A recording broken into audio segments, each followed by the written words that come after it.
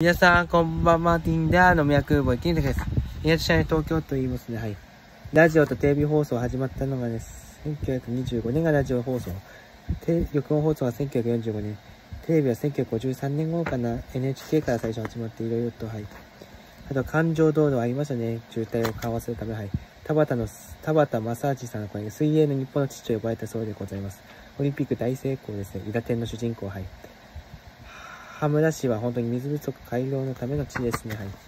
人口は増加してますが、今減少。まあ、地震ですね。これ大変ですね。南海トラフ地震とか首都直下地震怖いもんです。はい。いつ起きるかわからないです。大友和義明という漫画ですね。はい。カフェ、ジャズ喫茶、重喫茶が多い場所ですね。レトロでいいですね。ダーチ牛タウボ、やっぱり首都圏ですね。はい。丹波、丹下健三さんもこれ世界の断下が手掛けたもの、建物満載です。はい、以上です。バイバイ。